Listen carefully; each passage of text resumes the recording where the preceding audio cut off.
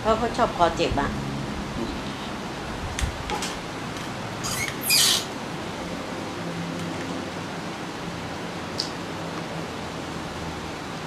อาจารย์ก็รับว่าแข็งแรงนะยุคพวกเนี้ยแล้วว่าเทียบคนอื่น ดับเบิลนะพม่าหึเอ่อคนเราขยันแล้วไม่ไม่ได้ทำให้ ไม่ได้ทำให้เจริญงอกงาม มีแต่ว่าขยันจนตายนะตอนเนี้ย นั่นอยู่ที่ดวงแล้ว จริง ๆ นะ บางคนเก่งกว่าคนดวงดีนะ แต่เขาจนอะ ไอ้จน เราอย่าไปกลัวความจนกลัวกลัวความไม่รวย เราต้องนั่งเราเราต้องกล้ากล้าเดินข้ามจุดนี้เลย ไอ้จนอันกับนี้เราทิ้งเลย จนกับรวยเนี่ยผมคิดว่าไอ้พวกทุนนิยมเนี่ยมันมาเอามาครอบไว้ ใช่ใช่มันก็เลยทำให้ เป็นเหมือนเชื้อโรคอะชั้นนี้หนึ่ง ชนิดหนึ่งรวยกับจนนะมาแบ่งแยกสมัยก่อนมันปู่ย่าตายายไม่มีคำว่ารวยกับจนไม่มีไม่มี มีแต่ว่า ขยันทำอืมถังที่ถังทางที่ลูกเต้าได้ยี่สิบสามสิบไร่ไม่ใช่เพ่อมันเก่งนะเออพ่อแม่มันเก่ง ครับ คือก่อก่อนทางแล้วความเจริญมันก็ยึดเป็นของเรา ทีนี้คนทุกวันเนี้ยเอ่อรุ่นใหญ่ที่เป็นรุ่นใหญ่เลยนะ ขยันจนตายนะมากยังไม่หยุดเลยยังไม่สามารถที่จะ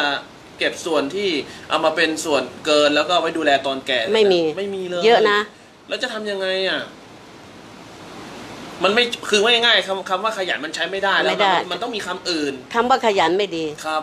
ดีแต่มันไม่ใช่ตอนนี้แล้วมาสมัยก่อนใช้ไม่ได้อยู่ใช้ไม่ได้ ใช้ไม่ได้เลยอืมที่โทรทัศน์เคยตั้งคำถามถามว่า ครับ ขยันจนตายก็ไม่ได้อะไร ครับ ขยันต้องถูกแนวของปัจจุบันที่คนต้องการนะ โอเค ร่วมสมัยเออ ทันปัจจุ อย่าหลับหูหลับตาว่าอู้กูขยันเลี้ยงเลี้ยงมะพร้าวปลูกครับมะพร้าวกูก็ครับทำแต่มะพร้าวอืม มันไม่ใช่แล้วครับ ครับ ครับ เธอดูแต่ลูกหลานเดี๋ยวนี้เคยเคยดูแลพ่อแม่ไหมเพราะถือว่ามีตังค์มีอะไรให้แม่ใช้ แล้วมีคนใช้ให้แม่รักรับรับใช้เรา เพราะถือว่าเขาอะทำหน้าที่เป็นลูกกตัญญูมากที่สุดแล้วครับอันนี้คือการคิดผิดนะ ยุคยุคย้อนไปของปู่คุณย่าไม่ใช่แบบนี้ แต่เราเปลี่ยนแปลงสถานการณ์ปัจจุบันไม่ได้อืมลูกชายเขาพูดกันสองคนครับเขาบอกถึงแม้เขาเลี้ยงลูกนะมีเงินสะสมไว้ให้ลูกตอนเขาใช้เขาก็ไม่ลำบาก แต่ว่า ความหวังเราอย่าไปหวังว่าเราแก่ลูกจะดูเรา อย่าไปคิดเลยนะ แต่ถ้าคิดจะผิดหวังแน่นอนเพราะยุคสมัยนี้อะไรก็ทันสมัย และอะไรก็มีเงินใช้อย่างเดียวก็ได้ เด็กเลยไม่รู้คุณค่าความกตัญญูมาอยู่ตรงขั้นอะไรอะถึงเรียกว่ากตัญญูอาม่านี่เหรอจะทำยังไงให้เด็กเข้าใจคำว่าอาบน้ำร้อนมาก่อนผมจะเล่าให้ฟังว่าตอนที่ผมวัยรุ่นน่ะผมแม่ผมเตือน ไม่เชื่อ ไม่เชื่อไม่ฟังพอวันหนึ่งผมมาเจอจริงๆโหเป็นตราบาปเลย ใช่ใช่เป็นตราบาปที่เป็นความ ความรู้สึกที่เป็นความลับส่วนตัวเปิดเผยไม่ได้เลยใช่ใช่ ทีนี้ให้ทำยังไงจะจะถ้ามาจนถึงนี้จะสอนเด็กยังไงให้เด็กรู้ถ้าถ้าหนุ่มจะถ่ายบาปครับถ่ายในใจไม่ต้องมาบอกเราบาปเพราะอะไร ครับครับเราต้องพยายามแทรกแซงทีละนิด แต่ถ้าสอนทีเดียวเด็กรุ่นใหม่เขาดูถูกเรานะเช่นเราเช่น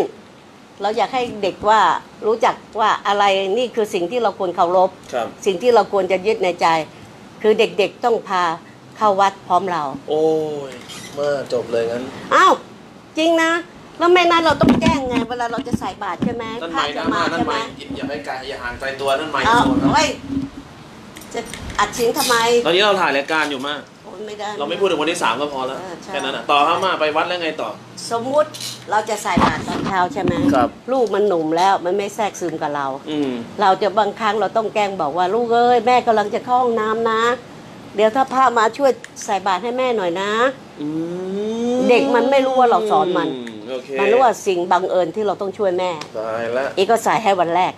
อ่าฮะแต่วันต่อไปเราอย่าทำซ้ำสองสามวันไม่ได้นะ ครับเพราะมันจะรู้ต้องนานๆที อ่าฮะ แล้วอย่างส่งเราไปที่วัดอย่างเนี้ยช่วยส่งแม่ไปวัดหน่อย อืม อีจะไม่ขึ้นศาลาเด็กขาด อืม เพราะว่าเดี๋ยวต้องไปฟังพระเบื่อเบื่อ นั่งและขาเมื่อยขาเจ็บ อาม่าจะแก้ยังไง เราก็บอกว่าลูกเอ้ยเดี๋ยวแม่ต้องแวะตรงนี้คุยกับชีหน่อยนะอืมเธอยกขึ้นไปให้หลวงพ่อหน่อยนะ อือฮึแต่ยกไปหลาย ๆ ครั้งเดือนละครั้งสองครั้งแทรกซึมทีละนิดโดยครับธรรมชาตินะ ครับคแต่รับถ้าสอนด้วยวาจา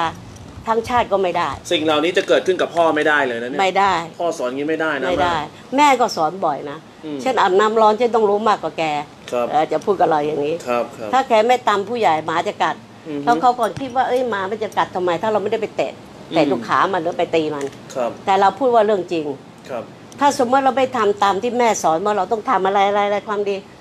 แล้วเราโตขึ้นเราเป็นผู้นำอะ ครับ แล้วเราสอนลูกน้องไม่เป็น อืมความเก่งไม่พอ ครับ ลูกน้องจนยังดูถูกคนรวยนะอือฮึจำไว้อย่างหนึ่งครับผมจะเป็นเจ้านายคนต้องซักเสื้อเป็นรีดเสื้อเป็นล้างชามเป็นอือฮึทำให้มันดู อือฮึ สรุปก็คือว่าจะต้องมีกฎสโลบาย ใช่ใช่ถ้าไม่อย่างนี้ไม่มีทางเลยรุ่นไหนก็รุ่นนั้นเถอะเปล่าโอ้โหแล้วอีกคำหนึ่งอะที่แบบว่าพ่อแม่รุ่นสมัยก่อนชอบคิดแต่ว่าเอาลูกเกิดให้มีลูกเพื่อเอาลูกอะไว้เลี้ยงดูตอนแก่ ตอนแก่คิดผิดเพ่อลูกเกิดบังเอิญเขารวย อืมฉันไม่ต้องดูอะไรเช่นดูเศรษฐีธนาคารนายหนึ่งอือฮึเขารวยมากๆ ตอนนี้อืมก็ยังรวยอยู่ครับครับ เขาป่วยอยู่ที่โรงพยาบาลครับรวยด้วยไม่ต้องจ่ายตังค์โรงพยาบาลของเขาด้วยอืมพวกเราไปเยี่ยมเขาน้ำตาไหลเลยอืมเพราะเราเป็นหลานครับ เป็นเพื่อนพ่อเอ่อครับพูดครับง่ายๆแล้วครับรับถือเหมือนหลานครับครับ เราไปนวดให้เขาจับให้เขาอืมเขาบอกว่าโอ้โหอิจฉาพ่อพ่ออมเธอมากเลยอือฮึลูกอะทำไมดีกับพ่ออย่างนี้ครับเช็ดขี้เช็ดเยี่ยวแล้วของฉันเนี่ยอืมมาเยี่ยมแป๊บเดียวอะ เขาจะบอกว่าพ่อแค่นี้เองนะป้าอืม เดี๋ยวต้องเข้าประชุมนะป้าอืม แค่นี้เองเหยียบมายังไม่นั่งเก้าอี้กับพ่อเลยพ่ออมนอนอยู่บนเตียงอืมนี่น้ำตาเขาไหลเขาแบบความรวยซื้ออะไรไม่ได้ อืมนี่เรื่องจริงนะอย่าเอ่ยชื่อชื่อแล้วไม่เอ่ยต้องแล้วเอ่เขายรู้กัมานกหมดไม่เอต้องอเอ่ยมากไม่ต้องใช่เอ่ยใช่อืมพวกเราก็น้ำตาไหลสงสาร ครับ แต่พ่อเรามีบุญ ครับ ลูกเขยก็ยังพัดคนละคืนไปเช็ดกับเยี่ยวก็อะไรแสดงว่าตอนที่เป็นไปได้ไหมว่าตอนที่พ่อแม่เลี้ยงมาเนี่ยพ่อแม่คือ เอ่อขยันนะมันดี อืมมันแต่เวลาแต่ที่จะขมายันคำนี้ไม่ยืนยันว่าต้องรวย อืมความขยันไม่ยืนยันรวยกับจนครับจำไว้ครับ แล้วจะให้ทำไงอะจะจะมีหลักคิดหลักคิดใด เพราะว่าตอนนี้เท่าที่ฟังอยู่นะ จะต้องมีหลักคิดไม่ใช่ขยันแบบเลื่อยเปื่อยไม่ไม่ขยันแบบฟาว อืม สมมติว่าคนเดี๋ยวนี้ไม่นิยมสินค้าอันไหน เราขยันครับ ซื้อมาขายเราก็เจ๊ง ครับครับ เราต้องดูว่าโลกนี้มันชอบอะไร วัยรุ่นมันชอบอะไร อืม อย่างวัยรุ่นไม่ชอบทองแน่นอน อืมใส่แล้วแก่ ครับ ก็คือใช่ไหม ต้องถ้าถ้าเป็นอาชีพก็ต้องดูความร่วมสมัย ร่วมสมัย แต่ถ้าเป็นลูกหลานต้องมีกฎสโลบายกฎสโลบาย จะไปตรงๆดื้อๆเราไม่ได้อย่างเลยเราอย่างอย่างลูกเราเรายังต้องหลอกบางครั้งนะ ครับครับ จะไปที่ไหนที่เขาไม่ชอบเราจะหลอกอือฮึบอกแม่ไม่มีเพื่อนเดี๋ยวนี้อะอืม เพื่อนหายหมดเลยไม่รู้มันเป็นเพราะอะไรสงสารแม่จะไปแป๊บเดียวเอง อืมอย่างเนี้ย ครับผม ไม่ใช่เขารังเกียจแต่เขา ใจเขาไม่พร้อมแล้วเขาความนิยมหรือความชอบของเขามันไม่เหมือนกับเราครับครับเราออกเข้ามาได้มันจะไม่เหมือนเราเด็กค่ะครับมาแล้วถ้าเกิดว่าอยู่ๆแล้วโอเคแหละเขาไปใช้ชีวิตข้างนอกมันมันพ้นอกเราไปแล้ว แล้วแล้วถ้าเกิดเออเขาทำผิดกลับมาทำไงอะเราก็อบรม แต่อบรมพูดตรงๆไม่ได้นะ อืม สมมติว่าเราจะไปเยาวราชเราอ้อมไปทางนิวออร์เลียนก่อน ครับผม แต่ถ้าธรรมดามาทางวัดตึก อืมแล้วเลี้ยวมาเยาวราชใช่ไหมอือฮึ เราจะต้องอ้อมไปอ้อมมา อือฮึ คล้ายๆว่าใครก็เพลินเพลินๆฟังเรา ครับ แต่ถ้าเราเป็นพ่อแม่จู่ๆไปออกคำสั่งเขาไม่นับถือเรานะ อืมปากเขาบอกเขารักแม่อะไรไม่จริง อืมคือเขาหลอกตัวเอง อืมแต่ถ้าเขารักบางครับอย่างก็ต้องน้อมเข้ากับเราได้ ครับ ฉะนั้นอย่าเชื่อว่าใครว่ารักแล้วรักจริงไม่จริงคำว่ารักนี่ไม่มีประโยชน์อืมนอกจากหลอกสาวๆกับหนุ่มๆมาโอ้โหจริงไหมจริงไหมแน่นอนจริงๆแต่ส่วนหนึ่งเด็กที่รักพ่อแม่ก็มี เขาก็เห็นเราทำดีอือฮึ ที่ที่ที่เขาจะเคารพเรา ครับ อย่างลูกเขาก็เห็นว่าแม่ดี ครับ เพราะแม่ทำมาตั้งแต่ต้น ครับ ถูกไหมอือฮึถ้าคนอื่นเราก็ไม่รังเกียจครับใช่ไหมยามเราจนอืมเราก็ไม่บ่นให้ลูกฟัง ครับ มีแต่บอกเอออดทน แม่เชื่อว่าเราขยันก็อดทนอือฮึแล้วเราดีกับคนอื่นนะสิ่งเหล่านี้มันต้องช่วยหนุนเราแน่นอน ครับ เราไม่เคยบอกกับลูกว่าเสียใจนะลูกอืม ลูกเรียนหนังสือสูงวันหนึ่งฉันจ่าย40 บาทเองอะเชื่อเปล่าอืม เรียนมหาวิทยาลัยอะอืมเขาไม่เอาเงินแม่ด้วย ครับครับเขาจะบอกว่าแม่เก็บไว้ก่อน ครับเดี๋ยวหาได้ เดี๋ยวจะเพิ่มให้แม่ แล้วแม่อดทนอย่างนี้แม่ทนไปเถอะ พ่อก็ทำกับแม่รุนแรงอะแม่ก็ดีนะไม่เคยด่าให้ลูกฟังเลย ครับครับจริง ครับครับ ๆ มีแต่ว่าเราต้องกตัญญูกับปานะครับ เขาก็ลำบากมาอย่างนี้อย่างนี้ครับ เราเป็นพ่อแม่เราอย่าฟ้องลูก อืม ชีวิตคือเราเลือกมา อืมใช่ไหมแล้วอย่าไปฟ้องว่าพ่อแกไม่ดีอย่าว่าพ่อกับลูก เออไม่ต้องไปพูดแล้วใส่แล้วลูก็ก เวลาพ่อไปพูดว่าแม่มึงก็ไม่ดี อันนี้เออ เข้าตัวเองแน่นอน อืมเราต้องเก็บไว้ในใจ ครับเอออาม่าถ้ามีลูกชายจะเลี้ยงยังไงให้ให้ได้ให้ได้ดีอะ โอ้โหมันก็ต้องค่อยๆนะ ไม่ใช่ง่าย ๆ นะ เราต้องป้อนสื่ออะอย่างดูหลานเป็นต้นสองคนที่เรียนหนังสือเก่งด้วยครับสี่ครับ คน ครับ อย่างพ่อก็จะสอนลูกบอกว่า ต้องรู้จักประหยัด ใช้เงินพ่อแม่หามาด้วยความลำบาก แล้วต้องตั้งใจเรียนที่เราส่งเรียนนี่นะคือหยาดเหงื่อของพ่อแม่นะครับครับก็จะบอกกับลูกเขาอย่างนี้อืมฮึแล้วกินอะไรต้องให้อยู่ในชั้นล่างๆ ไม่ให้ถือว่าเราต้องกินของดีๆ แพงครับๆแล้วมีคนใช้ก็ต้องให้ลูกเอาแก้วไปล้างเอง เอาชามอืมไปล้างเองอืมช่วยหยิบช่วยทำภาษาพูดแล้วมาใช่ภาษาพูดแล้วพูดกับคนที่มาดูแลแม่บ้านแม่บ้านเวลาพูดกับอ๋อแม่บ้านดูแลพูด ถ้า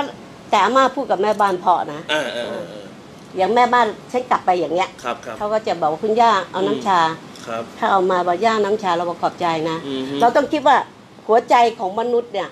กับไก่เนี่ย มันก็ยังชอบคนรูปรูปขนมันใช่ไหมไก่นี่คือสัตว์ สัตว์โอเคสัตว์โอเคไก่เป็ดตัวเล็กๆอะครับลองผมจับดูแล้วรูปมันนะมันจะหลับตาแล้วมันจะงอหัวลงอืม ทั้งๆอาม่าไม่กล้าจับนะ อือฮึ แต่ลองจับดู อืมตอนไปสามย่านจะเคยเจอไหมตอนยังหนุ่มหรือเปล่าทันไหม โอ้ไม่ทันที่แน่เอเชียตรงนั้นขายลูกไก่ลูกเป็ด ครับตัวละบาท ครับรับ คุณป๊อปเนี่ยทำเยอะที่สุดเพราะอะไรรู้ไหมอือฮึ ชอบเล่นแล้วไปจับแล้วตายอืมแล้วหลังถึงว่าพี่น้องของสามีอย่าซื้อให้เขาทำบาป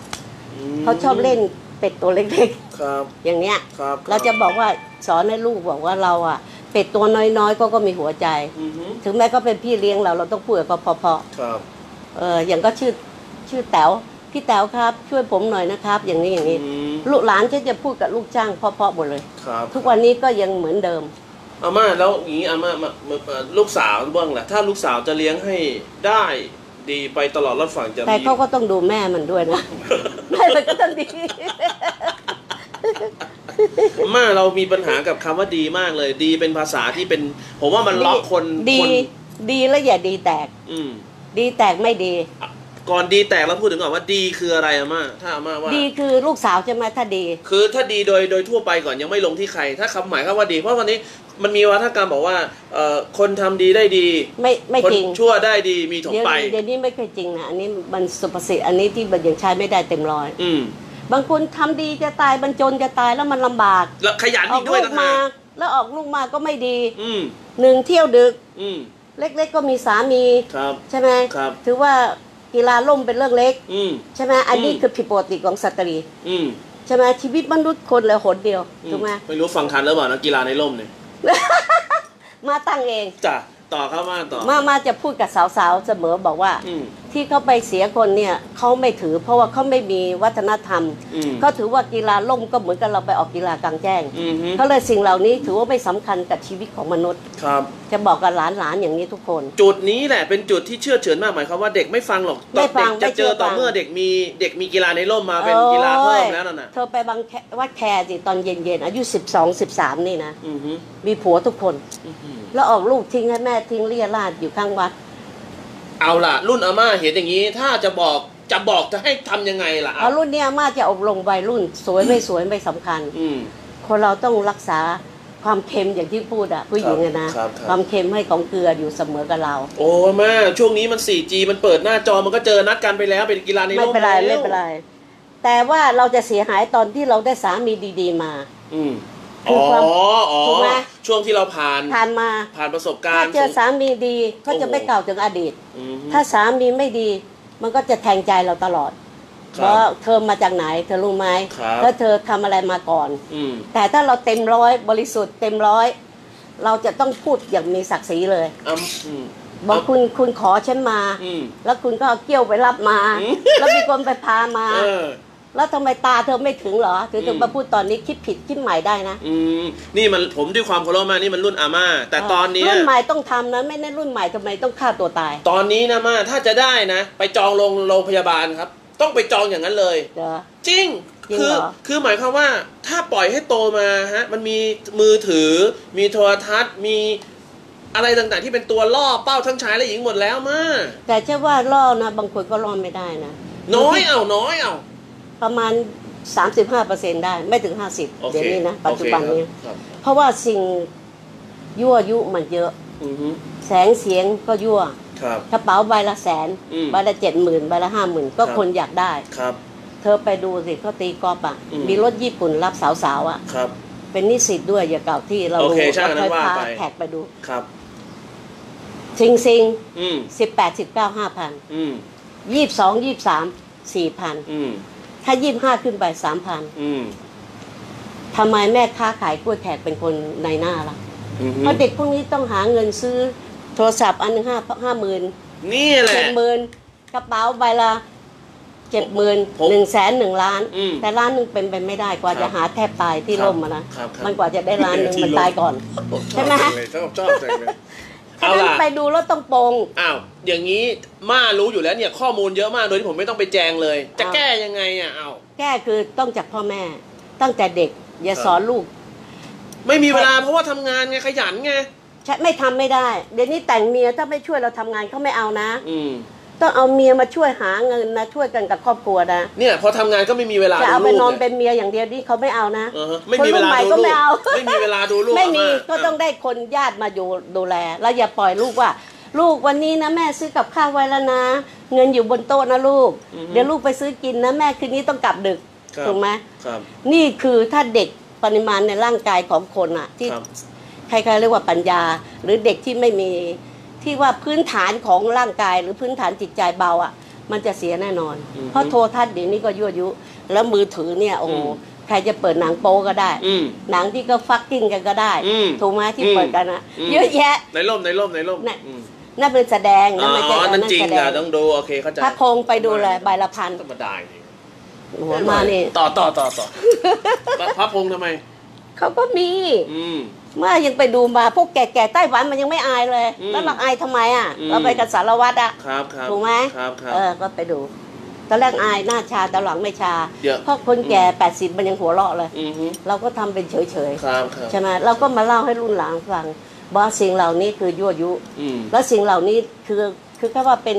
อาชีพหนึ่งที่เราขายกับต่างประเทศนะครับครับ ทุกประเทศต้องมีนะ อือฮึ ถ้าไม่มีการท่องเที่ยวไม่มีการได้เงิน อืมอันนี้อย่าไปโทษ ครับ ถูกไหมครับ นั่นเป็นชีวิตของเขาว่าสังคมมันต้องครับ เป็นแนวนี้สรุปแล้วก็คือว่าเด็กเราที่ต้อเกิงดสอมานเอเนี่งย ค่อยๆสอน เกิดแบบบุฟเฟ่ต์ส่งเดชเลยพ่อแม่ไม่มีเวลาไม่ไม่ไม่เชื่อไหมพ่อแม่ไม่มีเวลาหนึ่งหนึ่งร้อยเปอร์เซ็นต์นะมีอืมดีอยู่ยี่ห้าเอง ครับ ทุกคนเบื้องหลังก็ก็ก็เสียคน อืมเขาถือว่าเรื่องนี้เรื่องเล็ก ครับผู้ชายบางคนก็ไปถือเรื่องนี้เรื่องใหญ่ อือฮึเพราะเดี๋ยวนี้ก็ถือว่า คอมมอนนะนะ คอมมอนเออนี่ไง นี่ไง เห็นไหมเห็นไหมสมัยก่อนในยยกด้วยเกี้ยว ใช่ ตอนนี้ไม่ต้องแล้ว ไม่ต้อง โทรกิ้งเดียวโทรกิ้งเมสเซจเดียวกิ้งเดียวไปแล้ว แล้เดี๋ยววนี้ดูสิพ่อแม่ยังไม่รู้ว่าลูกหาผัวได้เลย อืมมันปิดบังกันจนถูกแท้ายมันจะพังกันแล้วมันถึงมาบอกเรา อืมใช่ไหมอันนี้คือตัวเด็กด้วยตัวพื้นฐานของพ่อแม่ด้วยอามาว่าสำคัญ ครับครับครับอย่างอื่นแก้ยาก นี่ก็เตือนลูกหลานนะแต่ลูกหลานของน้องน้อย ไม่มีเท่าไหร่แล้วล่ะครับเราเรียนไม่มีลูกสาวใช่ไหมครับ แต่เรามีหลานคนหนึ่งเราเชื่อว่าหลานเราชัวร์ครับเพราะเขาติดตามพ่อแม่เขาจะไม่ไปเที่ยวกับคนอื่นโดยที่ไม่มีพ่อแม่ไป ครับ เราอบรมอย่างนี้อยู่ตลอด มาในเมื่อเกิดมาแล้วเนี่ยเกิดมาแล้วนะ แล้วก็คนส่วนใหญ่อยู่เราอยู่ในประเทศโลกที่สี่อะนะใช่ก็คือใช่เรื่องทางเศรษฐกิจอะนะเคยกินผมว่ามันมันมันหยุดกระแสที่ ที่ที่จะไปควบคุมคอนโทรลหรือว่าแม้แต่กุศโลบายมันไม่ทันแล้ว แม่หนุ่มมันโตทุกวันหนุ่มจะเชื่อไหมครับ ทุกวันนี้ที่เขาเรียนสูงๆบางคนนะอือฮึเขาขายตัวเลี้ยงเรียนหนังสือครับแต่ก็ถือว่าเขาเลี้ยงจบแล้วเรียนจบแล้วเขาจะเลิกทันทีครับ นี่คือเขาไม่มีพื้นฐานของพ่อแม่ครับเขาถึงต้องยอมทุกข์ทรมานครับหาเงินเรียนจบจบมหาวิทยาลัยครับอันนี้เราต้องให้อภัยเขานะครับผมครับแต่ถ้าจบแล้วทำงานเลิกเนี่ยครับเราต้องคิดว่าชีวิตเขามาอยู่เส้นทางที่ไม่ดีครับผมเราอย่าไปปรับปรามเขาดูถูกครับว่าเป็นผมกะลีนะครับผมเราต้องยกย่องเขานะครับผมว่าเขาหาเงินมาเพื่อเรียน ครับผม แต่บางคนหาเงินเพื่อฉับฉวย อืม ไปเที่ยวผับเต้นบ้างอะไรบ้างเลี้ยงผู้ชาย อืมนั่นอันนั้นไม่ควร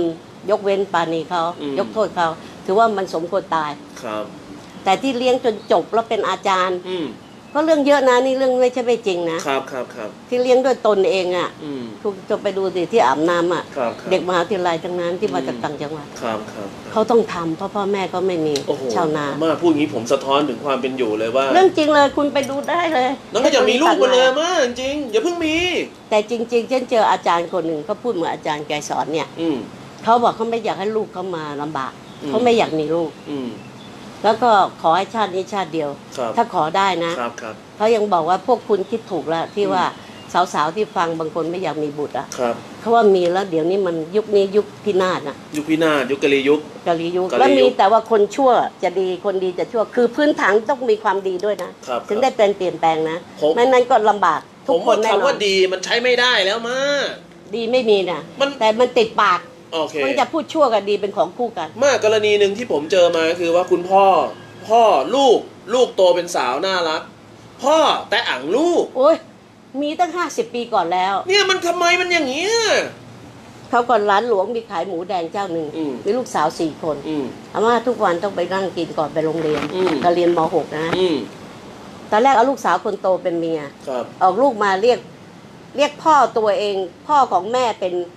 เป็นพ่ออะอืมนี่วิบัติไหมอืมอ้าวเราฟังแล้วเราไม่สุฮกอืมถูกไหมอืมเราต่อต้านไม่กินกับมันอืมอ้าวแต่หลังไม่มีที่จะกินกินกับมันเองอืมไม่เอาลูกคนที่สองเป็นเมียโอ้โหเพราะแม่ก็เป็นคนมาเล่าให้เราฟัง ระหว่างเราทานข้าวอืมเอาที่สามเป็นเมียที่สี่สวยสุดนะอืม เขาไม่ยอมเว้ยน่ารักอืมเขาหนีจากพ่อกับแม่เลยอืมไปอยู่ที่อื่นอืมแล้วไม่ตกเป็นเมียของพ่อสามคน จะเป็นสี่คนแล้วอืมอืมฉันเลยยกย่องน้องคนเล็กอืมเจอนี่ทุกวันนี้ยังมีชีวิตอยู่อืมอายุไล่เรียกกับอาม่านี่แหละอืมเพราะเสาร์ด้วยกันแล้วก็กินข้าวยุเขาเรื่อยบอกว่าเธอต้องหนีเธอต้องหนีอืมอย่างเนี้ยครับเธออย่าไปยอมเด็ดขาดเลยพ่อครับเฮงซวยอย่างเงี้ยครับเราด่าด้วยนะครับครับเขาไม่ถุยน้ำลายเรากินกันดีแล้วข้าวหมูแดงอะอืมอืมใช่ไหมนั่นน่ะอืม เมียเขาไม่มีปัญญาว่าผัว เพราะครับผัวจะตีกันถ้าอืมห้ามเขา แล้วคนโบราณมันแปลกว่ะอืมถ้าผัวจะทิ้งนี่เสียดายมากว่ะอืมฉันก็ไม่เข้าใจอะ ครับ ยังไงอะมาเสียดายยังไงไม่ไม่เข้าเสีใจยขยายความหน่อยขยายความกลัวว่าผัวเนี่ยถึงแม้เอาลูกเราเป็นเมียครับแล้วมันเราไม่ยอมเขาอะเขาจะทิ้งเราอะอ๋อทำไมเราต้องเสียใจอะ ก็มันไปต่อไม่ได้ไงมาชีเราวิตไปหางานทำดิเรามีมือมีตีนน่ะ โอ้โหแก่แล้วมาใครจะไปรับเล่าก็ล้างชามก็ได้วันหนึ่งก็ร้อยสองร้อยก็ยังอยู่ได้อะทำไมต้องยอมให้ข่มเหงอะอันนี้คือโง่สมัยโบราณนะเขาบอกอืมมีผัวคนไหนต้องทนจนตาย ทนทำไมวะอืมผัวไม่ดี อีไม่เราไม่ดีก็ทิ้งเราอาม่าทนได้ยังไงเอ้า เนี่ยใช่ฉันทนเข้าเขาตัก็วไม่ได้แล้ว โขดถึงอย่างนั้นใช่โอไหมเคโอเคเข้าใจเข้าใจแล้เข้าวใจ ฉันลูกดีเข้าใจเข้าใจ ฉันสร้างมาแล้วฉันจะทิ้งของดีไว้ทำไมอะ ถ้าถ้านะวันนี้อ้าวอ้าวอาม่ามันเกิดขึ้นกับหลายครอบครัวมากแล้วจะให้ทำยังไงอะทั้งทั้งฝ่ายแม่คือฝ่ายหญิงแล้วก็ฝ่ายลูกที่ถูกกระทำโอ้ก็ลำบากนะโอ้โหทำไมมันมาอย่างเงี้ย โลกมันจะแตกแล้วไง ที่โบราณเมื่อก่อนมากกลัวมากฟังอืมสาวๆว่าโลกจะแตกพวกเราต้องตายแน่นอนครับ เขาครับก่อนกลัวตายใช่ไหม อืมอืมอืมแต่เดี๋ยวนี้การตายคือเกิดมาต้องตายอยู่แล้ว อืมแต่ว่าเท่แต่กัวันไหนท่กัเวลาเราจะหมดแล้วจะได้ไป ครับครับ แต่ไม่หมดมันก็ต้องทรมานไปก่อนนะสรุปถูกไหมก็คือว่าปัญหาที่เล่าอยู่ตอนเนี้ยถ้าจะบอกจะพูดถึงอะจะจะช่วยยังไงให้วัยรุ่น ใช่ใช่จะช่วยยังไงให้ทุวักยมิรุ่นติเลยคือ พอเพียงสิ่งที่เรามีอยู่ โอ้และไม่ภูมิใจไม่ไม่สิ่งที่เรามี โอ้ถ้าเรามกยังอยากได้ของคนอื่นเหมือนเขานะพังทุกคนหนุ่มอืมอะและระยะยาวจะพังแน่นอน ระผู้ยะชายสั้นก็พัง อืม อย่าว่าแต่สตรีนะครับผู้ผม ผู้ชายก็พัง มากกำลังบอขายกตัว ว่าระยะสั้นเนี่ย ดีดีดีแต่พอระยะยาวพังพังใช่ไหม พัง แล้วผู้ชายขายตัวก็มีเธออย่าไปดูถูกผู้หญิงขายตัวอย่างเดียวในที่อือฮึโลกผู้ชายขายตัวเยอะแยะหล่อๆอะอือฮึ เธอยังไม่ไปศึกษา อือฮึ มีผับผู้ชายอะ อือฮึอือฮึเออ ตายเลยฉะนั้นเรารู้แล้วเตรียมตัวครับรู้แล้วมั่นใจอือฮึทุกวันนี้เราไปที่ไหนเราก็จะพูดแบบนี้เพราะพวกพวกรุ่นเราอะรุ่นแก่แก่มากๆเนี่ยโอเคจะพูดบางทีพูดให้พระฟังนะอือฮะเออประชุมแล้วพูดให้พระฟังเอาล่ะ เด็กเอ่อหมายถึงว่าเราเกิดมาสมัยนี้มันมันมันมีกลุ่มหนึ่งมันไม่เรียนไม่ยอมเรียน แต่แต่การไม่ยอมเรียนนะไม่สนุกแล้วอะเดี๋ยวนี้การเรียนไม่สนุกเท่าเล่นเกม เพราะว่าการเออเธอเธอหัดดูช่องช่องสามสุกร์เสาร์อาทิตย์อือฮึ มันแตกสแลกอะไรขาดเนี่ยดูอือฮึแล้วมีความรู้นะอือฮึอันนี้ก็เขาชมกันเยอะนะ ครับครับครับเด็กที่เป็นเอออืมแล้วเด็กที่ดูเกมแล้วตีกับพ่อแม่อืมตีกับพ่อ โอ้ไปแย่งเกมเก็บก็ตีกับพ่อต้องไปเออรักษา อืมแล้วเข้าโรงเรียนก็เข้ากับเพื่อนไม่ได้ อืมใช่ไหมอือฮึ ฉะนั้นนี่ฉันก็ว่าหลานนะครับ ที่ตัวนิดเดียวอะซื้อเกมให้ลูกเล่น อือฮึคือลูกไม่มากวนเรา อืม ทำงานสบาย ครับคุยกันสบายผัวนี่เมียรักกันสบายเออมึงให้โทษมึงตั้งแต่ลูกมึงเกิดจากท้องมึงเลยอืมแล้วมึงจะไปด่ามันไม่ได้นะอือฮึฉันบอกนะครับ มึงด่าเท่ากับด่ามึงอะอือฮึมึงไปซื้อเกมให้มันดูตาก็จะบอดอืมเพราะมันมีรังสีอืมถูกไหมครับ ส่วนหนึ่งเล่นเกมอะมีดีได้ดีมี ไม่เด็กตัวเล็กไม่ดีไม่ดีแน่นอนไม่ดีไม่ดีแน่นอนไม่ดีแน่นอนที่เล่นเกมดีนี่ใช่ว่าน้อยนะอ่าดีที่น้อยใช่ครับ มีส่วนหนึ่งที่น้อย มีมากแต่ไปดูหนังโป๊ในนั้นอ่ามีอย่างโป๊ะดูแต่เกมที่ไม่ดีครับครับครับ คุณธรรมที่สอนหลายอย่างอยู่ในนั้นก็ไม่เคยเปิดดูอาม่าอ้างคุณธรรมอีกแล้วจริงๆมันไม่มีแล้วอามามัมันต้องมี เพราะเราเป็นชาวพุทธจะให้หมดไม่ได้นะหนุ่มครับ อย่าไปเถียงเลยอืมถ้าเราจะหมดเป็นไปไม่ได้ แล้วคนตายยังไงต้องเชิญพระมาสวดใช่ไหมอือฮึคุณตายลงลงเองแล้วคุณเผาเองใช่ไหมอือฮึยังไงก็ต้องมีอันนี้ตายจนกี่ชาติก็ต้องมีอืมอย่างนั้นมึงเก่งจริงมึงตายลงหลุมแล้วมึงไปเลยสิอะอย่าขึ้นอย่าขึ้นทำไมยั่วอะเออที่เธอบอกว่าจะยึดอันนี้อืมยั่วอืมมันต้องมี อื มมีมากมีน้อย อย่าบอกว่าไม่มี อืมไม่มีก็คอมมิวนิสต์สิอือฮึอือฮึเอียงซ้ายมากๆสิ อือฮึอือฮึมันต้องมี ครับผม แต่อย่าไปงมงาย อือฮึเราไหว้ด้วยตัวเองขอด้วยตัวเองครับแล้วอย่าพึ่งบุรุษที่สามมาช่วยเรา อือฮึจบ แล้วเราอยู่อย่างสบายเมื่อกี้ยังไม่ตอบเด็กไม่ยอมเรียน อ๋อ เด็กไม่ยอมเรียนอยู่ที่พ่อแม่ด้วยอืมกลับมาเราต้องมีเวลาให้ลูกครับบลูแต่ลูกสะพ้ายยังดีนะ อืม เขาลูกกลับมาให้กินข้าวเสร็จอาบน้ำลูก ครับเอาการบ้านมาสิลูก ครับแล้วอันไหนถ้าลูกไม่เข้าใจ อือฮึ เด็กที่จะไม่อยากเรียนคือภาษาอังกฤษอืม กับภาษาไทยประวัติ ครับมันมันมันบรรจุในสมองยาก อือฮึสังเกตดูที่เด็กไปกินที่ไปเรียนอินเตอร์เพราะอะไรเธอรู้ไหมครับเพราะอินเตอร์ไม่ได้ใช้ภาษาไทยเยอะ อือฮึ ภาษาไทยอะประวัติศาสตร์ไทย ภูมิศาสตร์ไทย อือฮึ คนไทยทุกวันนี้ก็ไม่ชอบเด็ก ครับมึงลองถามดูสิรัชกาลที่เราอะไรเท่าไหร่มันไม่รู้หมดอะครับมันไม่ตอบเลย เออ ฉะนั้นลูกสะพ้ายเราน่ารักครับเขาจะบอกว่าลูกข้อนี้เข้าใจไหมอือฮึแล้วก็อ่านให้แม่ฟังซิอือฮึเอ่อแล้วภาษาอังกฤษก็บอกข้อนี้เป็นอย่างนี้ครับใช่ไหมไวยากรณ์คำนี้ต้องลงท้ายด้วยอย่างนี้ครับครับสอนให้ก่อน แต่ถ้าอืมทำไม่ได้บอกลูกต้องพยายามนะอือฮึต้องรีบเริ่มจากเรามัน เราไม่ให้เขาไม่ได้เด็ดขาดอืมตั้งแต่เด็กด้วยนะเช่นมีหลานลูกของหลานชายคนโตอีกคนหนึ่งครับ เรียนจนทุกวันนี้เรียนม .4 มันยังไม่รู้ว่ามันน่ะสมุดพกกี่เปอร์เซ็นต์ แล้วส่งมันเรียนทำไมอะครับครับเทอมหนึ่งต้องหมื่นห้าครับฉันบอกจะเลิกส่งครับฉันไปช่วยวัดดีกว่าเด็กเนนน่ะอืมสมุดพกมึงยังขี้เกียจดูแล้วมึงไปเรียนอะไรถูกไหมคนก็หาว่าฉันใจดำครับ ทำไมทำบุญที่เป็นแสนเป็นล้าน อืม ส่งหลานเรียนแค่นี้แล้วบ่นอืมแกรู้ว่าเปล่าว่าที่ข้าพูดเนี่ย อืม เป็นทองทั้งนั้นน่ะลูกแกวันหลังจะได้ไม่ครับ ลำบาก ครับ ด่าแกกับครับมึงด้วย อืม เพราะเราแก่แล้วไม่เป็นไรหน้าด้านแล้วมาเด็กสมัยนี้พอผู้ใหญ่พูดผู้ใหญ่บอกโอ้โหยังกันนรกว่ะโอ้นรกเสียงนรกอะ ฉันพูดถึงหลานชาย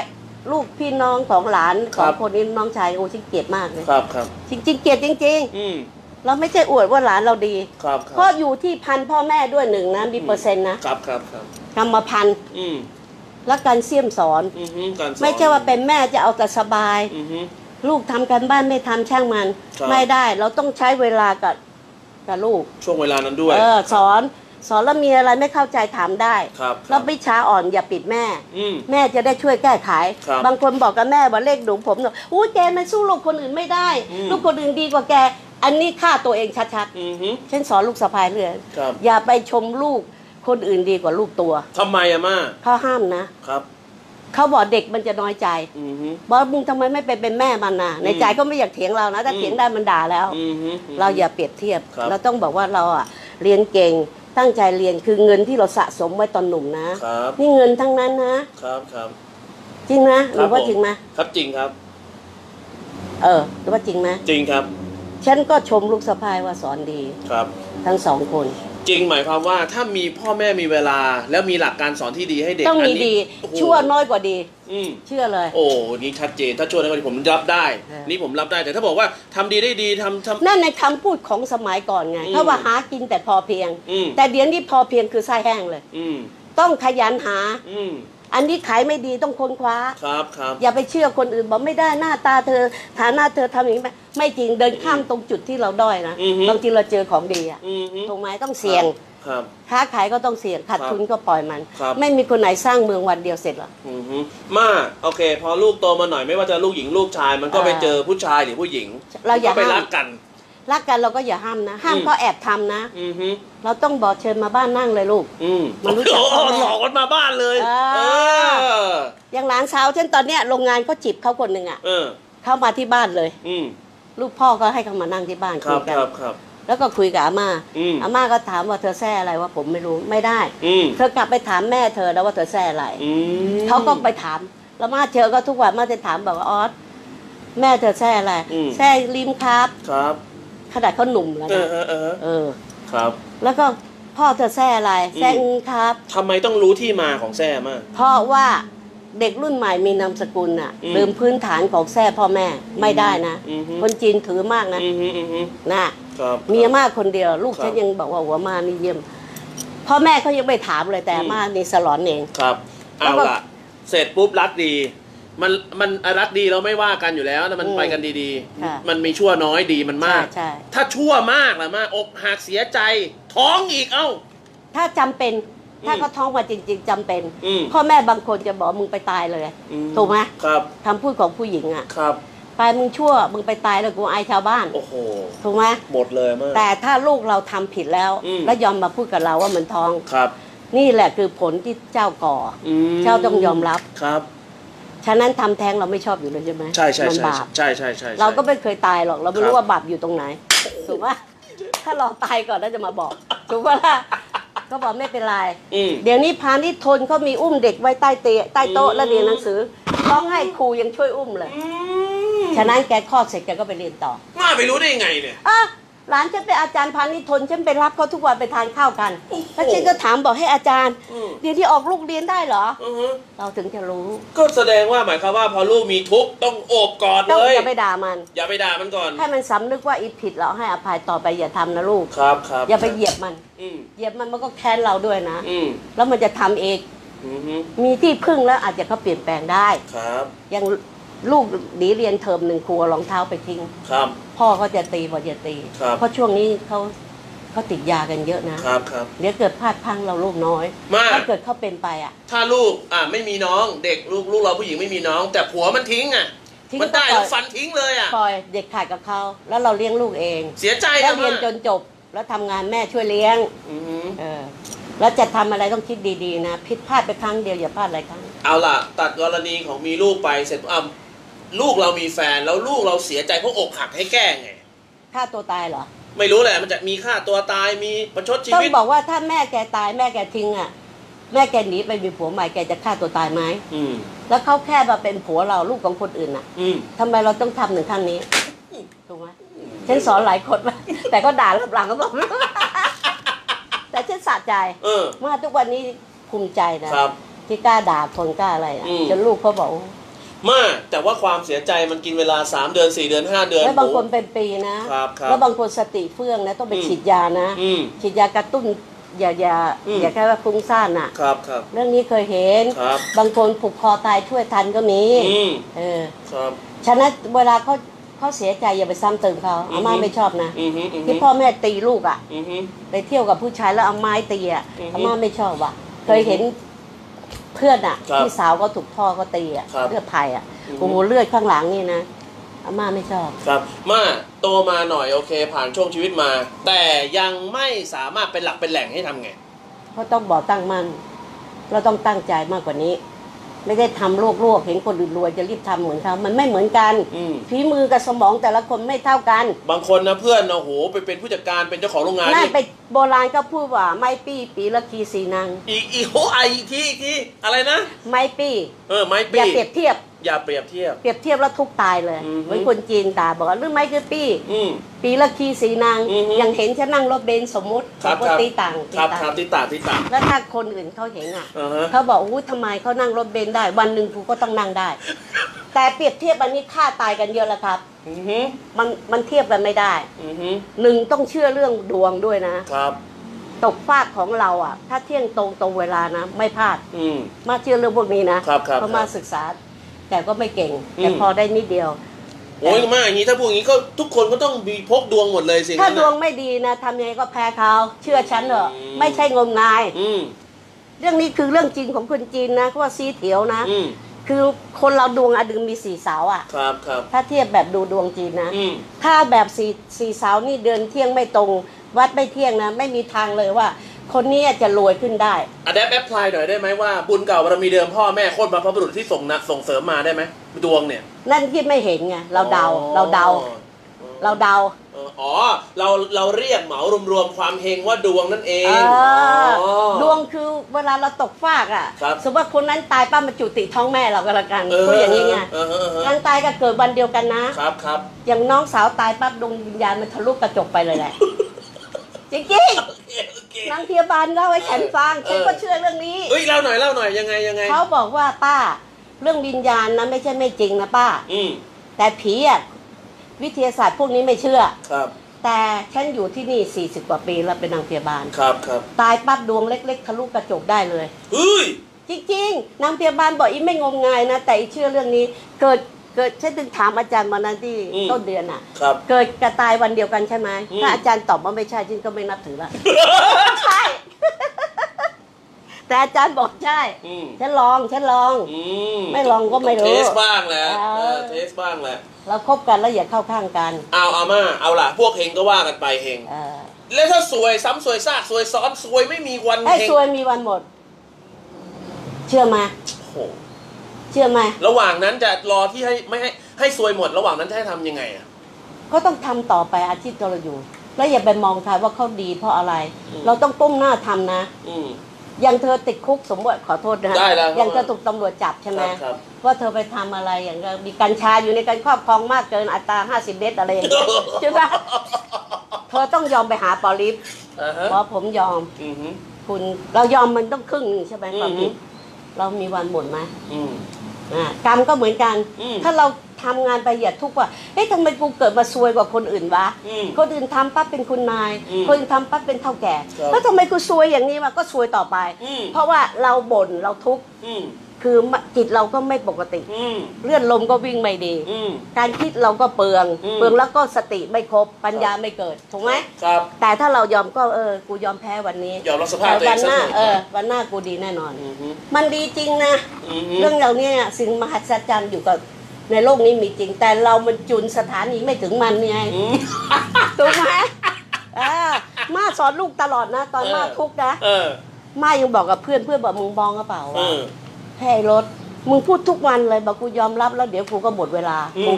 มึงบ้าเปล่าวะอืม ทำไมทุกวันนี้เพื่อนนัดเจอเดือนละครั้งกินเขาต้องสูงหกชนะอืม เขาบอกโอ้มึงแน่มากเลย ครับ ที่มึงพูดกูไม่เชื่อนะ อืมแต่เดี๋ยวนี้มาพิจารณามึงพูดจริงว่ะ อืม เราก้มหน้าใช่ไหมเราลำบากก๋วยเตี๋ยวก็ขายอืมกระเพาะปลาก็ขาย อืม กระถังก็ขาย อืม แต่งทั้งชุดด้วยเว้ย ขายของทำไมอะ ใช่ไหมครับครับ ทาปากด้วยเว้ย เออ ขายขายครับ เรายอมรับว่าเราตอนนี้ผู้กำกับให้เราเล่นบทนี้วะอืมเราเล่นให้มันแน่นเดียนอืมเวลาหมดเร็วอืมฮึทุกข์มันก็น้อยลงใช่ไหมอือฮึแต่จะทำก๋วยเตี๋ยวไปอุ่นกินอร่อยก็ไม่อร่อยอืมอืมอืมร้อนก็ร้อนครัชิบบหายก็ชิบหายครับยิ่งชิบหายไปใหญ่เลยอืมเรื่องใจเย็นเป็นที่ตั้งด้วยนะครับครับมาเอาล่ะ พอรอให้ความซวยหมด อยากมีคู่ครองอะ ไม่อ้าวเจอที่ที่ชอบที่ใช่ที่ดีสักที ถ้าถ้าคนจีนเขาจะพูดคำว่า อืมเมียการดวงที่จะมีคู่ครองยังมาไม่ถึง บางคนต้องอายุมากเลยถึงถึง ครับ อย่างฉันรู้จักอะร่วมด้วยช่วยกัน อืมเชื่อมาห้าสิบเอ็ดเพิ่งแต่งงาน อืม เพื่อนลูกสะพ้ายที่เขาวก่อนอยู่กันอะดรสมเกียรติอะเพิ่งแต่งงานอืมฉันยังบอกโอ้ยใหญ่คนนี้เพิ่งมาแต่งห้าสิบเอ็ดแต่งคนดีด้วย อืมคนอูจี้ด้วย โอ้โห เพราะเขาทนทำงานตลอดไม่เคยทุกข์เลยอูจีคือรวยมีตังค์นะ อ๋อ แสดงว่าบอจีคือไม่มีตังค์อ่า อ๋อสอนภาษาจีนไม่เอาตังค์นะมึงไงอ้าวสอนไปเมหลายคำแล้วเนี่ย อ่าฮะอ่าฮะเออเออ ได้ได้เสร็จปุ๊บเอาล่ะฉะนั้นอย่ากลัวว่าแก่แล้วจะมีคู่ครอง ครับ บางคนแต่งอายุ 50 กว่ายังเป็นคุณนายเลย อืม แล้วสามีรักด้วย อืม แล้วลูกเมียหลวงก็รักด้วยที่แม่ตายอืมฮึอ่าทำไมไปกลัวทำไมอืมผู้ชาย70พลังยังมีแต่งได้ อืมแต่งยี่สิบสองอ้อๆเลย อ้าวดูชาวลิตฟื้นไหมชาวลิตฟื้นไหมอะเรื่องเขาเรื่องเขาแล้วชาลีอินทรวิจิตรโรคหัวใจได้เมียคนนี้ฟื้นไหมฟื้น เออ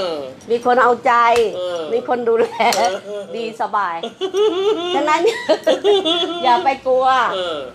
คนเราจะมีสุขได้นะที่พูดอยู่คำหนึ่งครับครับ เราดูตัวเรา อืมแล้วเราอย่าไปเทียบคนอื่น ครับ เราถ้าเห็นคนอื่นสวยแล้วไปอิจฉาก็จะมาจิตเราก็ฟุ้งซ่านอืมเราต้องคิดว่าเอ้ย คนละบล็อกบล็อกพ่อแม่มันกับพ่อแม่กูไม่เท่ากันอืมเราก็ไม่ทุกข์ใช่ไหมครับ เออไม่มีใครสอนเราหรอกเราสอนตัวเอง ครับ มาสุดท้ายพอช่วงเวลามันผ่านไปทั้งหมดแล้ว สุดท้ายทำมาทั้งหมดป่วยเสาะเสาะแสะแสะออนป่วยออนนี่แอเราแอต้องยอมรับนะ อืม สังขารที่สร้างมาเหมือนรถยนต์อะบางคนออกจากอู่ปั๊บไฟไหม้อะอืมรถใหม่ๆอะมีมีมีอันนี้เห็นเออนี่ก็เหมือนร่างกายเราป้ายแดงมาปุ๊บชนเลเอยอแล้วแล้วร่างกายเราเหมือนว่าคนแก่90กว่ามันยังไม่เคยป่วยเลยอะอืมแล้วเราอะสี่ห้าสิบก็ออดออดแอดแอดเข้าออกเข้าออก ครับ อย่าไปทุกข์นั่นที่ขีดมาละ ป่วยไม่เท่าไหร่ไม่มีตังค์ครับ นั่นก็ก็ก็อาจจะกรรมเก่ามาตาม เราต้องโทษสิ่งที่เราจับไม่ได้คำไม่ได้ ดีอืมที่สุดไม่มีโทษด้วย อืม ถูกไหมสิ่งที่มันไม่มีวัตถุมาจับ นี่ถ้าจะเป็นอาจารย์เนี่ยได้ตังค์แล้ว ไม่มีใครจ้างไงสรุปก็คือสุดท้ายหมายถึงว่าก็ให้ยอมรับสภาพ ยอมยอมดีที่สุด แต่และอาม่าไม่รู้นะอาม่าลองกับตัวเองยอมหลายทาง อืม แล้วอาม่าได้ดีตอนสุดท้าย อืม แต่นานหน่อยนะอืมฮึเพราะชีวิตทุกคนมันคิดแล้วไม่ได้อย่างที่คิดหรอกครับครับครับ จริงอืมๆยังสมัยก่อนอาม่าเข้าเช็คหมดนะอืมควานหาลิ้นชักจะเอาเงินมาครบอีกร้อยหนึงยังไม่มีโอ้โหแต่เดี๋ยวนี้ทิ้งที่ไหนคำมาก็มีแต่เงินทำไมอะเออฮะถ้าพูดไปคือหนังอินเดียใช่ไหมพูดก่อนต้องพูดก่อนใช่ไหมเด็กมันจะได้มีกำลังใจ มันหนังอินเดียใช่ไหมเออครับครับแล้วมาจะเล่าให้ฟังอยู่อ่าฮะอุดรในนะอืมมาปวดท้องจะแต่จะหิวข้าวก็ไปไม่กล้าไปข้ามสะพานสูงอะคนลาวก็เยอะอืมลูกคนเล็กก็40วันอืมลูกคนโตก็ขวบครึ่งอืม แล้วเราก็ตอนนั้นไม่อ้วนอย่างนี้นะ ตัวอืมเล็กๆโอ้ยหิวข้าวจะตาย อืมจะรอสามีเอากับข้าวมาก็ยังไม่เอามา ครับแล้วเราก็ไม่รู้จักใคร อืมนี่คือเฝ้าหน้าร้านถูกไหมไม่ใช่อยู่ยังบ้านหลังเลย โอ้รอรอเขาเอากับข้าวมาให้ ที่ออฟฟิศมที่อุดรอ๋ออ๋ออ๋ออ๋อทำยังไง ครับ ไปหาสตังค์ก็ไม่เจอ อืมจะเอาครบร้อยหนึ่งไม่ครบ อืม เอ้เงินกูไปไหนวะ ตอนนั้นจะตาม เขาบอกต้องให้มาอยู่ด้วยกันครับ ก็ย้ายของนิดหน่อยอืม โอ้โหตายแล้วอืมจะไปเชื่อเขาก็อืมอายใช่ไหมอืมอืมอืม เขาจะรู้จักเราเหรออาหมวยครับอาหมวยใช่ไหมครับครับ จนเราเป็นกระเพาะ อืมแล้วทุกวันนี้โทษโทษฟ้าโทษดินนะนะอืมถ้าเจ็บกระเพาะขึ้นมาก็โทษ อืม คิดในใจโทษ โทษสามี ครับ โทษอะไรทุกอย่างครับใช่ไหมครับ นี่เราชีวิตแล้วหาตังค์เวลาเข้าเช็คเข้าจนหมดนะ อืมฮึ กลัวเช็คได้ไง อืมใช่ใช่ใช่แต่คนไม่บริหารเช็คมันใจเย็น อืม แต่เราเพิ่งนี้นะตรุดจีนก็เล่นไพ่กันสนุกเป็นบ้าเลย ครับเราคิดว่าชิบหายเพิ่งนี้เข้าเช็คตั้งหลายตังค์ยังเก็บไม่ได้แล้วจะทำไง อืม กินข้าวไม่ลงนอนไม่หลับ ถูกไหม ครับบอกกับพี่น้องพี่น้องก็แค่บอกว่าเออเดี๋ยวก็ได้นะอืมฉะนั้นทุกอย่างเราต้องบอกว่าตัวเองเป็นที่พึ่งของตัวเองหลัก 95%โอ้โหจริงๆ อย่าไปหวังคนอื่นเลย ครับ นั่นเป็นสิ่งที่ไม่แน่นอน ทั้งหมดต้องคิดและทำเองใช่ ถ้าพูดอย่างเงี้ยต้องทนด้วย ครับ อึดถึกด้วยครับ ใครอย่างมากก็บอกเออมึงน่าสงสารนะอืม มึงสู้ถึงป่านนี้มึงก็น่าสงสารนะแค่นี้เอง ครับ แค่นี้มันช่วยอะไรกูได้วะ ครับครับ กูต้องฮึกขึ้นมา อืม ใจสู้ น้ำตาอืมเช็ดแล้วอย่าร้องอืมบอกพระเจ้าไม่ต้องให้กูร้องนะกูแก่แล้วถูกไหมเดี๋ยวนี้ไม่เคยมีน้ำตาเมื่อก่อนเจ้าดาราอืมเดี๋ยวนี้ขอแล้วได้ผลอืมยังไงอะมายังไงยังเพไงราะเราแก่แล้วไม่ให้มีน้ำตาอืมขอร้องอายเขาอืมฮึอืมฮึจริงเอาละพอๆเอออิจกลับฉามาดิถึงตรงเนี้ยถามจริงค่ะอ่ารู้จักลุงหงอกได้ไงอะก็ฟังวิทยุแต่จริง ๆ ใช่ไหม อะไรเดี๋ยวพึ่งสิเล่าก่อนเช่นวันนั้นใช่ไหมอือฮะเจนเปิดวิทยุหมุนไปเสียงป้อก่อน อ๋อ มีรายการก่อนหน้านี้ใช่ครับครับแล้วก็หมุนมา เอ๊ะ จะตีหนึ่งแล้วทำไมมีอะอืมแล้วก็บอกเอ๊ะผู้ชายคนนี้เสียงหล่อว่ะ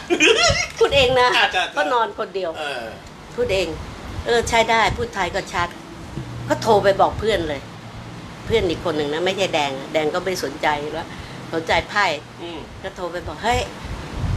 เองฟังสิว่าคืนนี้ห้าสี่ศูนย์อะ อือฮึ ผู้ชายคนนี้พูดเสียงดีจังเลยครับ จัง อืมอีกก็เปิดไปก็ติดใจ อืมวันเกิดปีแรกเข้ามากับอาม่านะแต่ตอนนี้ก็หายไปไหนไม่รู้อะอืมให้เพื่อนไลน์ไปก็ไม่ตอบ อืมอันนี้ปล่อยเขาไปก่อนแล้วเขาก็ติดใจอาจารย์ฟังตลอด อืมฮึเขาบอกเวลาเขาจะเปิดแรกๆไม่เจอ โทรศัพท์สามร้อยพวกเอ้บีจียูเราซื้ออย่างสามร้อยนะอืมฮึอืมฮึขึ้นถึงจะชัดนะอาจารย์อืมอย่างแพงๆ มันมีขึ้นรบกวนว่ะ มันไวไปหรือไงไม่รู้มก็ซื้อสามร้อยมาสี่เครื่องนะ มาซื้อที่เสียงป้อช่วยเหลือวัด ครับครับครับนี่นี่จะทิ้งขยะอีกหลายเครื่องนะอืมเจ็ดแปดเครื่องนะเสียงไม่ดีเดี๋ยวก็ทิ้ง ครับครับเขาฟังฟังแล้วเออก็ใช้ได้ว่าอาจารย์อืมพูดเข้าท่าอืมฮึแล้วไปคำว่าใช้ได้ วิธีใช้ยังไงครับเขาคำพูดอาจารย์น่ะแปลได้เลย เช่น อย่างอาจารย์บอกว่า วันนั้นก็พูดคำหนึ่งติดใจก็บอกว่า เราเป็นเป็นคนเราต้องแบบว่าเชื่อมั่นตัวเอง อืมฮึแล้วภาษาไทยของไทยเราอะ มันต้องเข้าใจเออแล้วติดใจคำหนึ่งเข้าหูสูดใจคำนี้ประทับใจ ถูกใจแปลกอะ อืมเออใช้ได้ว่าไม่เคยได้ยินคนพูดแบบนี้ว่ะอืมฮึแสดงว่าเออหน้าตาเป็นไงก็ไม่รู้ อืมฮึตอนนั้นยังไม่มีมือถืออย่างนี้ใช่ไหมอืมฮึเราไม่มีที่เห็นหน้าไม่เนี่ยมีเฟซบุ๊กเฟซไลไม่ฟ์ครับไม่มีมีแต่วิทยุ ก็บอกว่าให้ไอ้แดงอืมวันไหนเราไปที่นั่งเก้าหน่อยอืมฮึไปเป็นเพื่อนฉันอือฮึอ๋อฉันเป็นวิทยุเจาะเลือดก่อน เจาะเสร็จก็บอกเออมาแวะมาเลยยังยังไม่ต้องกลับบ้านหรอกอืมฮึไอ้บุญมึงขับดูสิอืมว่าอยู่ตรงไหนตรงไหนครับได้ดูก็หาเจอออฮึแล้วว่าเจอจันทาอืมนั่งหน้าบ้านครับเขาบอกว่าเก่งมากเลยอืมอาจารย์นี่เก่งจริง ๆ แต่ฟังมานานก่อนถึงมานะกี่ปีนี่เราหยอดๆอุ้ยหลายเดือนอืม ถึงจะมา ครับ เขาบอกเขาเก่งนะป้า ป้าถามเลย ตอนนั้นอาจารย์ยังใส่เสื้อแขนยาวพับอย่างเงี้ยอืมแล้วเราก็นั่งไกลๆ เรายังบอกน้องชายต้องอดทนนะมาหาที่นี่อะคนเยอะ อืมฮึพาน้องมาก่อนจริง ๆ ไม่ใช่มาถามตัวเองตอนนั้นตายังดีนะ ครับครับครับจะน้องสาวไปฉายแสงตรงนี้แข็งไง แล้วก็สงสารเขาคืนอาหารอืดๆเหมือนยางอะครับแล้วก็บอกให้อ้วนมาเหอะเดี๋ยวจะรับมาบ่อย ๆ ถ้าดีขึ้นนะเห็นเขาว่าอาจารย์เก่งมากครับแล้วพูดจาก็ดีเห็นหัดฟังบ้างสิเขาฟังหาขึ้นอาจารย์ไปเจอเชื่อป่ะแล้วไปซื้อวิทยุสองเครื่องให้เขาคนละเครื่องอืมถ้าน้องชายเปิด แล้วเขาก็ฟังแล้วก็มา แล้วก็ให้เขาถามเสร็จเรียบร้อยมากเข้าไปก็ไปคุยไปคุยไปไปคุยกับอาจารย์เรื่องออสเตรเลียอืมฮึ ครั้งครั้งแรกนะ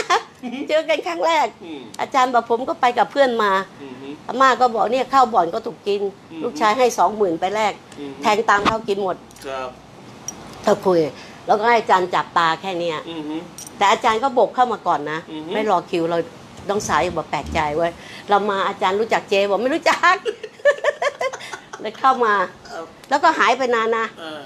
หายไปไม่มา เออ ฟังแต่วิทยุ หายไปกี่ปีปีกว่าสองปีสามปี ถึงมาอาจารย์สามปีได้มาไม่ได้จแต่อาจารย์ไปพูดกับใครคนหนึ่งเขาเล่าให้มาฟัง ที่ที่ผู้ชายอะำครับเป็นลูกศิษย์อาจารย์ใครเขาบอกว่า